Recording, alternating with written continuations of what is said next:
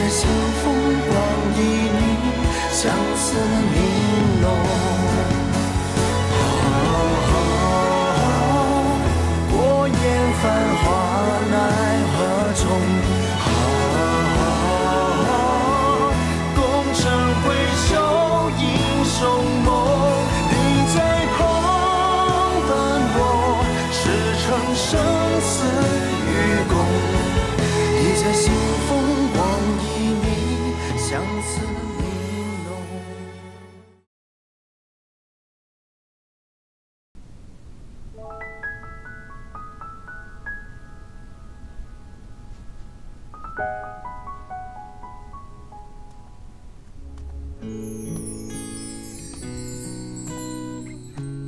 说实话，心里面一点也不介意。当然介意。既然你已经把林王妃的名号借给了别人，以后我也不会再要。我等着你将皇后的名号留给我。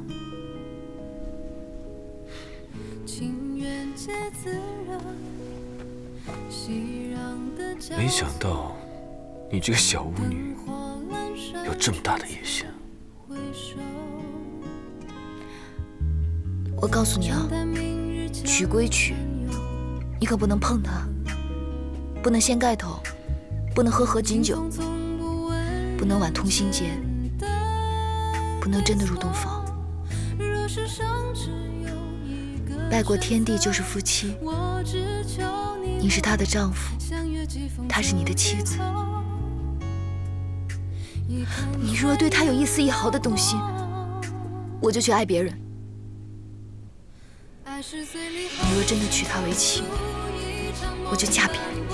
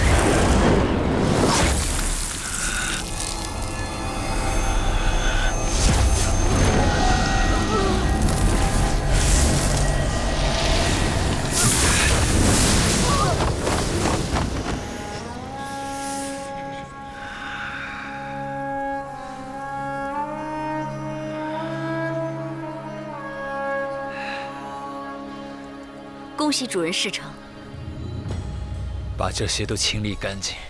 当初以八命换一命，乃是暗巫至高禁术，这才不得不定期以人形毒煞来维系主人的心脉。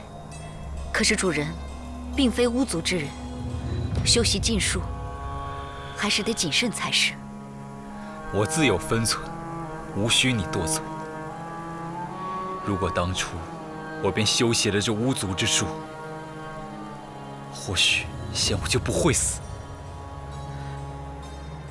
只要主人需要，属下愿意性命来换取主人想要的任何东西。也难得你这么忠心。你只要乖乖待在本王身边，本王自然不会亏待于你。谢主人。你要时刻留意萧旭的一举一动，他现在是我们重要的一颗棋子。是。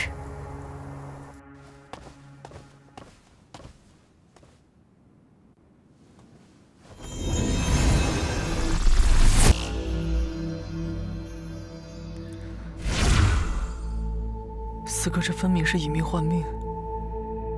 清晨应该没事。不知这双倍反噬的力量，四哥能不能撑得住？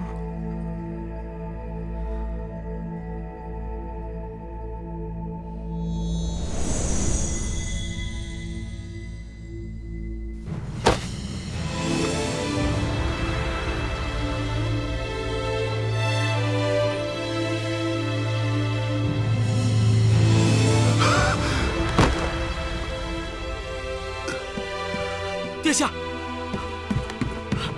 哎，殿下，你怎么了，殿下？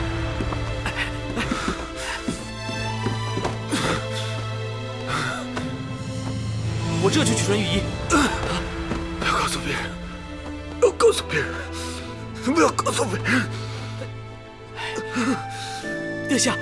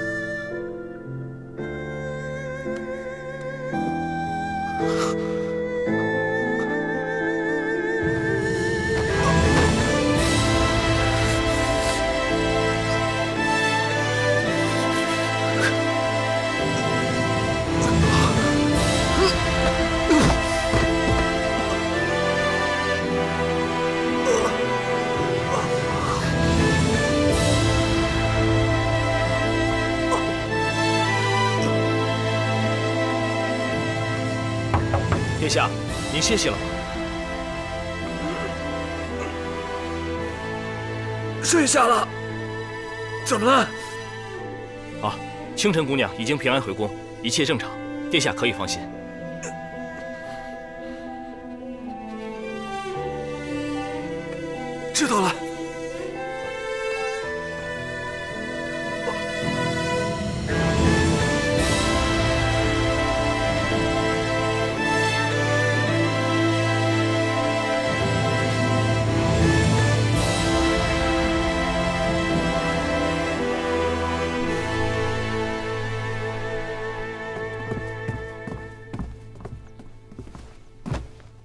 太常寺莫不平太医院王直叩见陛下。平身吧。谢陛下。你二人为何一同前来？出了何事了？启禀陛下，老臣据星象推算，近日宫中或有重大变故。臣也发现宫中有不少人生病，却症状不明，老臣恐是疫症。特来禀报。有莫先生在，天象有异，自可避免祸事。只是你说的疫病之言，却是非同小可。你可确定？老臣还不敢妄下断言，还需仔细探查，方可确认。不过，这有病的工人，乃是临池宫居多，所以臣恳请陛下降旨封宫，容太医院诊查。为何偏偏是莲池宫？莲池宫乃是莲妃的居所，岂能说封便封？朕给你两日时间，准许你探查。两日之后必须给朕一个确切的消息。另外，千万不要惊扰了莲妃。臣领旨。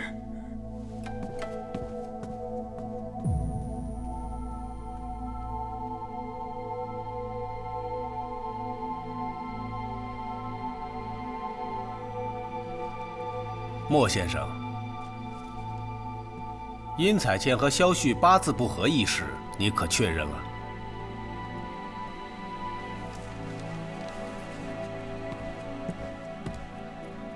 启禀陛下，从这八字来看，彩倩姑娘命格贵重，三方之中，天府天象会照，呈府相朝元之格，吉星佳会，极为罕见。而这萧旭。则是身主贪狼，劫空献帝，克父、克母、克子、克妻，且命有寡宿。假如把彩倩姑娘嫁了过去，尊星落于贱位，好比明珠暗投，不仅对自身大为不利，只怕就连父母，甚至对陛下也颇为麻烦。反之，若将其许配于陛下一位命格正式的皇子。以他的命格之下，则可有助于我大魏。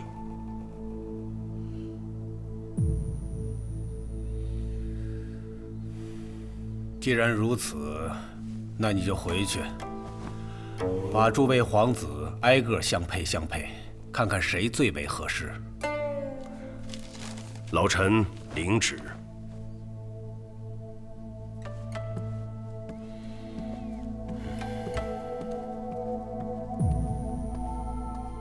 看着朕做甚？还不把今日的奏折给朕取来？是，陛下。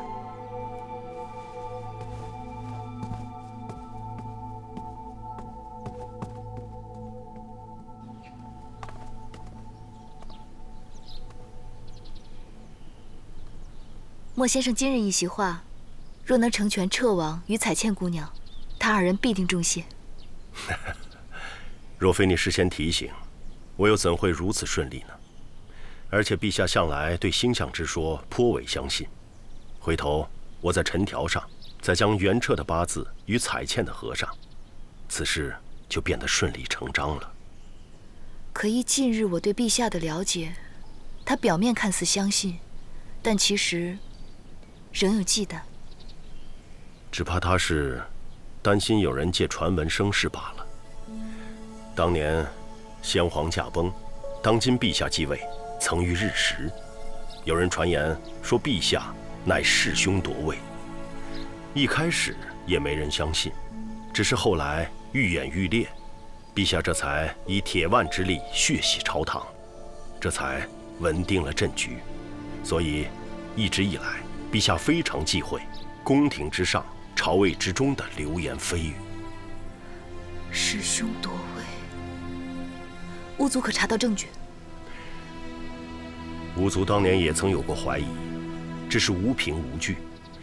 所以，我一直觉得，陛下之所以借先皇后之死绞杀巫族，即便是后来巫族被平反，他也不肯就此放过。恐怕，便是因为对此事有所顾忌。因为巫族的职责是守护皇室正统，岂容得篡位之事？若是如此，莲妃娘娘曾侍奉两朝帝王，或许她知各中内情。此言不差。无论是先皇之死，还是灵王身世，即便是暗巫之事，都或许和这个莲妃有关。猜测无用，找机会我进莲池宫探探虚实。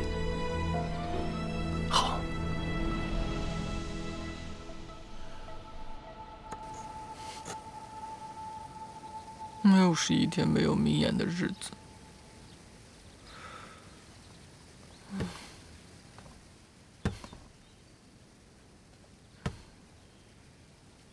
在做什么呢？七哥，七哥，你看看，我整整十八天没有见到他了，我心里好难受啊！哎呀，你是不会懂那种感觉。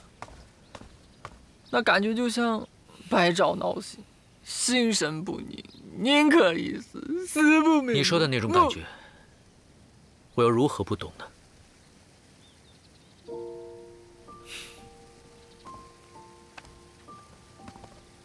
如果是真心喜欢，又为何不去见他呢？见了又能怎么样？见了也不能在一起，还不如不见。那我问你，你可是真心？那是当然。那他呢？他，他应该也喜欢我吧？不然怎么会临别时还送我礼物啊？若彼此都是真心相待，那便要努力的向着自己想要的方向去争取。怎么样？需不需要七哥帮忙？那七哥为何不争取倾城？莫非七哥不是真心喜欢？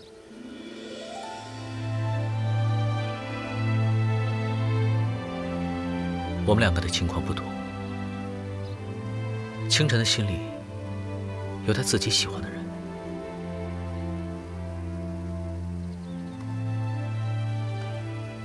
若你对一个人的喜欢超过对自己，就不会想用占有的方式来得到他，就会想着只要守护好他便好。你愿意为了他做任何事情。七哥当真愿意为了清晨做任何事情？只要他需要，但很多时候 他并不需要我。清晨最近吧，真的遇到一个很大的麻烦，而且如果不及时解决，他恐怕性命都堪忧。什么麻烦？是这样的，倾城作为巫族的圣巫女，掌管着巫族的圣物九转灵石，可现在灵石散落四处，不知所踪。如果无法在一定的时间内将所有的灵石收集齐全，她会随着巫族在这个世界上消失，而且她。剩下的时间不多了。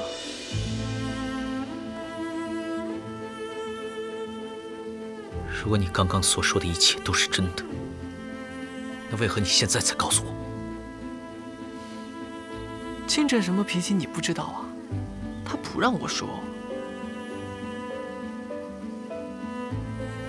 那清晨现在还剩多久？需要的灵石还剩几颗？他现在的时间不足两个月。而且还有黑曜石、冰蓝晶跟血灵龙都不知所踪。我知道冰蓝晶在哪里。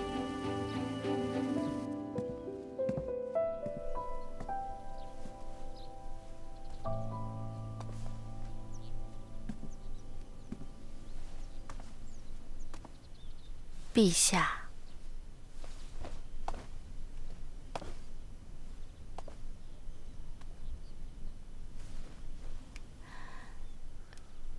朕听说你身体欠恙，特来看看你。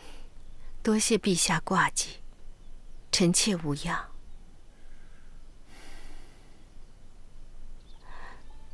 陛下有什么话，不妨直说。朕要派灵儿带兵出战梁国。家国大事，陛下做主便是。朕还要朵霞公主。指婚于他为妃。既然圣上早已决断，我们母子一切听从安排。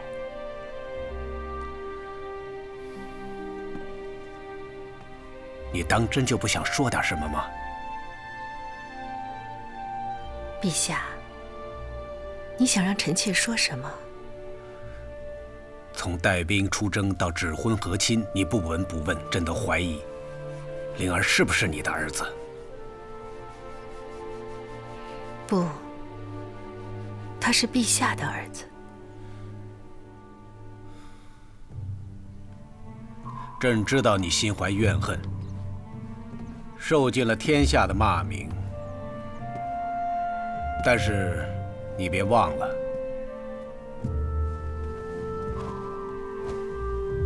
正宫皇后的位置。朕一直给你留着呢，难道这些不足以弥补吗？臣妾福薄，不敢受。如果朕将大魏的江山也交与灵儿呢？臣妾乃后宫中人，不敢妄言国事。这江山是当年陛下亲手从先皇的手中夺下的，如今想如何处置都可以。不错，这天下是朕的，朕是想怎么说就怎样。而且，朕还知道，你是朕的女人。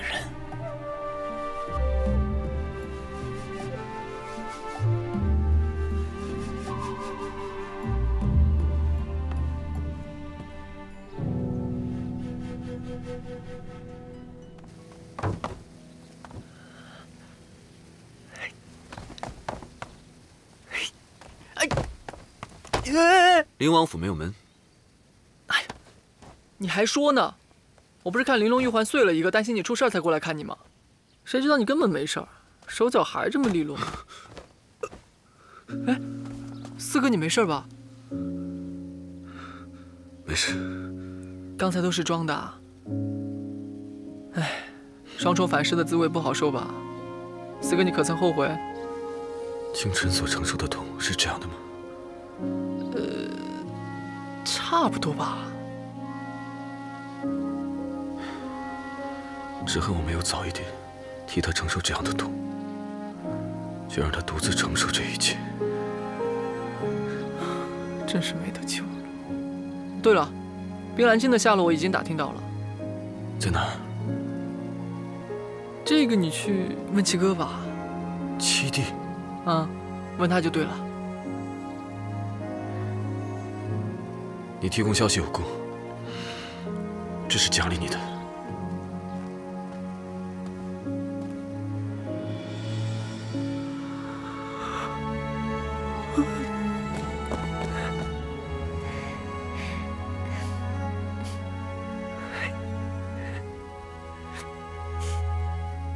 大殿之上，萧旭拒婚究竟是怎么回事？是不是你从中作梗？是。为何要如此？因为儿臣要利用彩倩，拉拢十一弟，好断了四哥的左膀右臂，然后儿臣会娶梁国的公主为妻，来联合比阿柴族实力更雄厚的梁国，这才是扩力最大的棋路。母妃以为，这样不是更好吗？原来如此，难怪你父王夸你，说你的棋艺青出于蓝胜于蓝。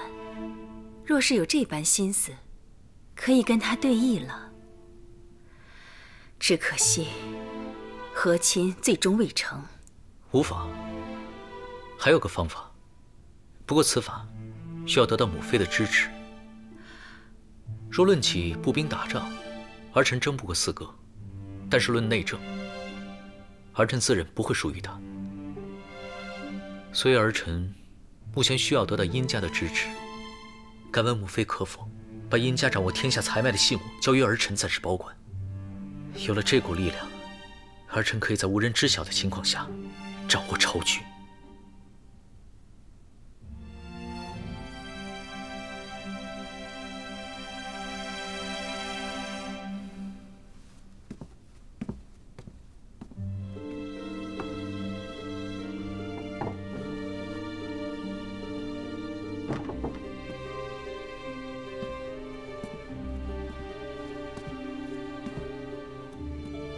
只要你有这个心，你要什么，母妃都可以给你。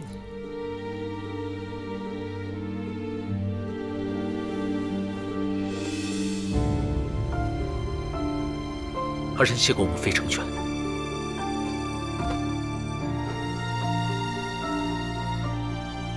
战儿，今日怎么了？一点小事行如此大礼，殷家的东西，早晚都是你。儿臣所为，愧对母妃一片苦心，请母妃原谅。来，你赶紧吃，多吃点，够了够了。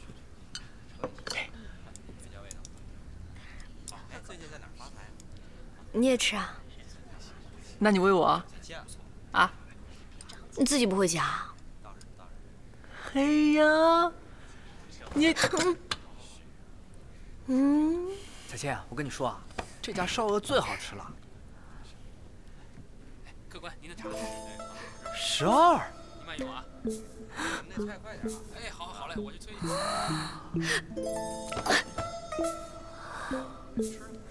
看不见，看不见，看不见，看不见。十二。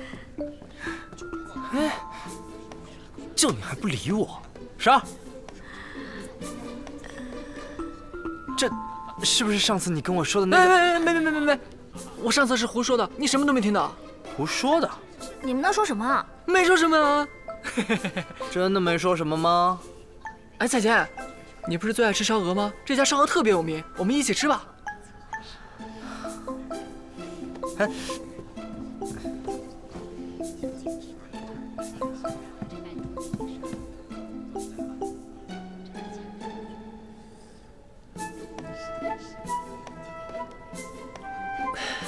其实明艳是个女子，啊，而且她还是巫族的弟子，所以这件事情你们一定要替我保密，不能说出去。还有十一傻，之前我跟你讲的那个人就是他。十二哥，要不要我替你确认一下？不用了，我自己确认过了。哦。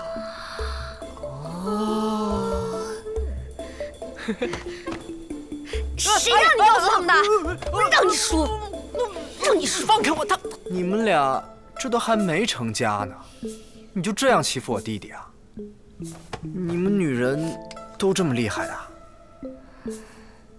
什么意思啊你？哎。哦，对了，偷偷告诉你们，明艳她是从离经天里偷偷跑出来的，你们不能告诉别人。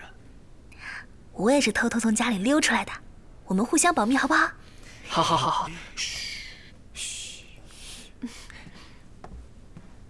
您的烧鹅。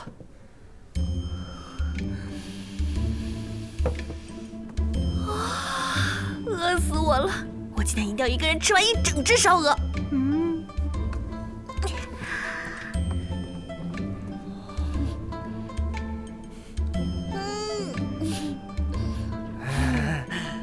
这可是我们天都最好吃的烧鹅。嗯，你们俩尝尝，来，你吃。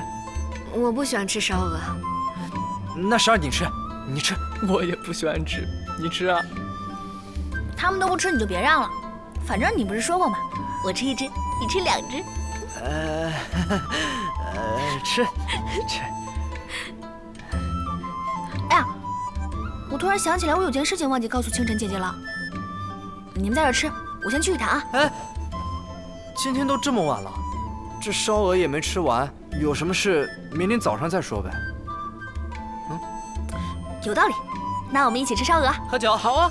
来，先干一杯！干杯！干！干！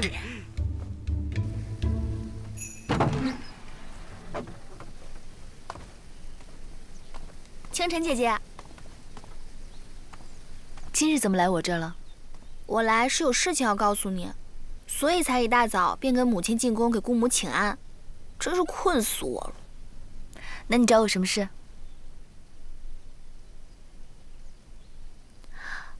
我无意中发现太医院的何如意何大人被关在我家府上，我还听到父亲跟他说话时提到莲池宫，父亲一直在问何如意关于二十几年前的事情，但那何如意偏偏什么都不肯说，难道？与园林的身世有关，你可别多想啊！我并非故意出卖自己的父亲，只是我殷彩倩虽不是什么了不起的大人物，但也不愿意欠人太多人情。上次你帮了我，我将此消息告诉你，这样我心里还好受一些。不过这个事情我可连十一都没说，你千万别跟别人说是我告诉你的。嗯，不过你也别光谢我。此事可不是我一个人的功劳。不过你刚才告诉我的消息我倒是要真心谢谢你。这消息对你有用就好。那我先回延禧宫了。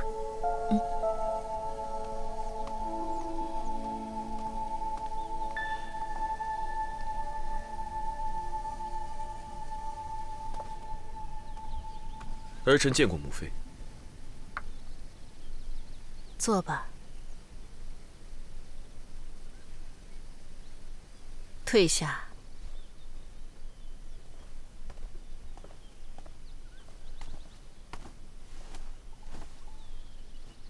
今日怎么有空来看我？儿臣最近听到了很多的传闻，都是关于先帝的，所以过来问问母妃。那些传言说，父皇弑兄夺位，这种事情不要胡说。只是这段日子，我查探了很多关于母妃、父皇、先帝的事情。以前很多人都说，父皇弑兄夺位，让母妃背负骂名，而且还有人说，儿臣是先帝之子，只是二十多年前父皇继位的时候血洗朝堂。后来那些人都不敢再提这件事情。我想问，这是不是真的？你查到什么了吗？我想听您亲口说。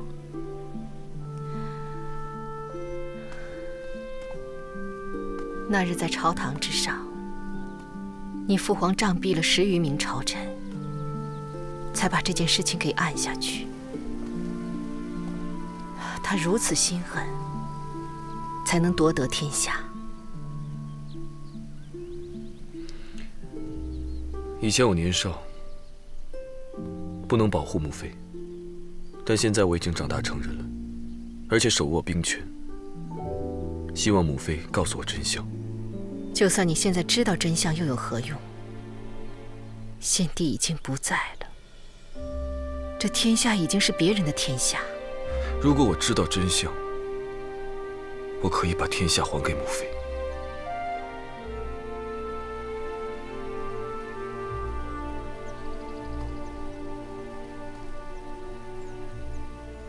都说你在所有的皇子中最像你父皇了，但是他们并不知道，你更像先帝，因为先帝才是你真正的父亲。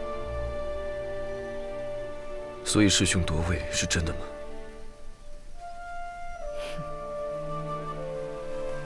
师兄又算得了什么？如果有人对他威胁，他可以杀尽天下人，没错，包括自己的儿子。我保守了这么多年的秘密，现在你终于知道了。灵儿，你答应母妃，在皇上面前一定要学会自保。致远殿做女官的那个巫女，她有可能给你带来杀身之祸。在我心中，她不是什么女官，不是什么巫女，她是清晨。我会护着你，也会护着她。如果当年先皇有你一半的魄力就好了，至少现在也不是这般模样。母妃，您放心吧，我不会让您再伤心。如果您觉得在莲池宫闷的话，我叫清晨，经常过来陪你。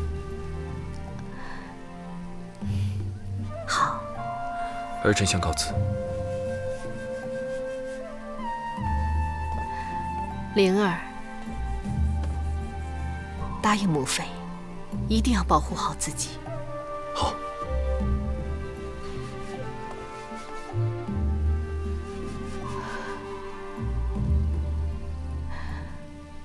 灵儿，不要怪母妃狠心。我必须通过那个巫女拿到九转灵石，开启玲珑阵，与你真正的父皇团聚。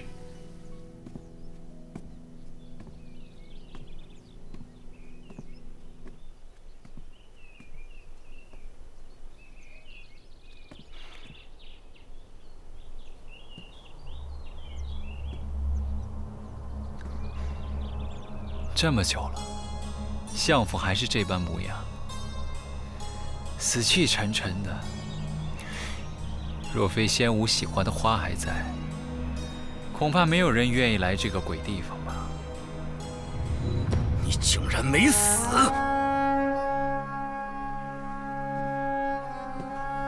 可怜的凤大人，已经两次白发人送黑发人。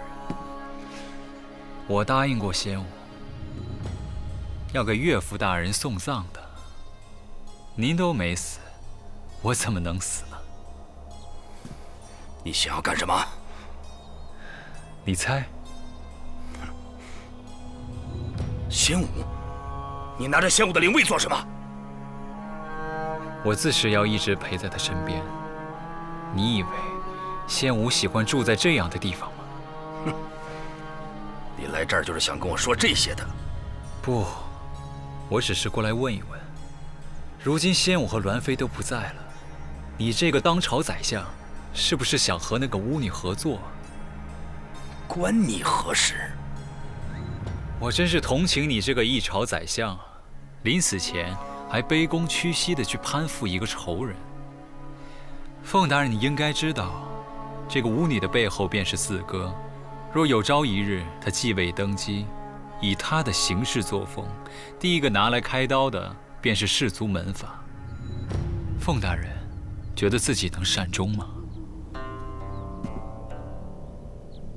哈哈哈。可是事情到了这步田地，即便是饮鸩止渴，我也得喝下去，不是？但我看在仙武的情分上，可以给大人指一条明路。路在何方啊？就在你眼前。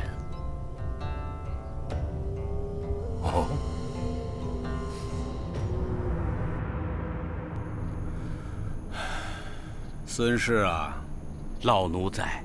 你还记得吗？当年，你跟朕站在这里，看着那些朝臣想要反朕。事情已经过去二十几年了，有些事情，老奴记不清楚了。可是朕记得清清楚楚啊。那个时候，天下的人都说朕的不是，可最终。他们都跪在了朕的脚下。如今八方来归，大魏已经是陛下的大魏。可是现在，依然有人说朕的不是。今天，还是在这里。朕要让那些不肯服软的人，甘愿向朕低头。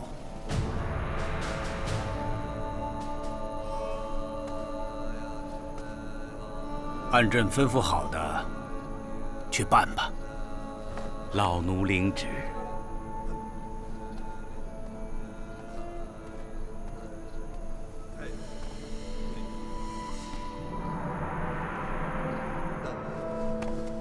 都说你在所有的皇子中最像你父皇了，但是他们并不知道你更像先帝，因为先帝才是你真正的父亲。殿下，殿下。殿下，这是要去哪儿啊？陛下传旨，让您即刻去勤政殿面圣。好，我知道了。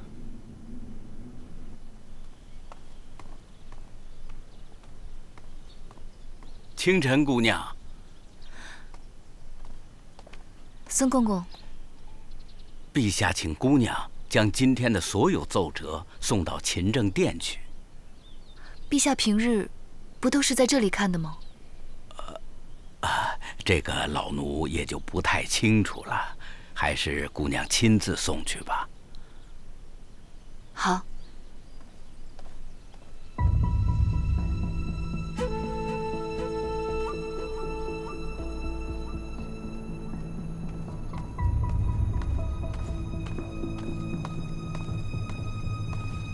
父皇。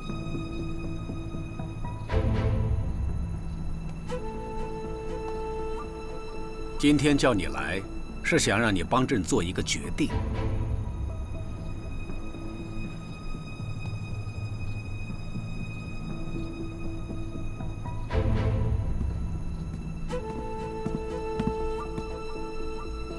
父皇，这是何意？秦斩，末将在。都准备好了吧？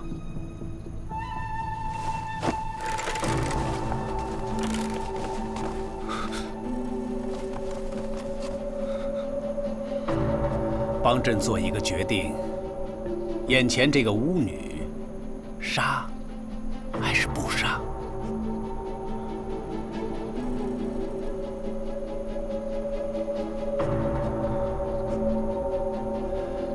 朕的意思，你应该明白吧？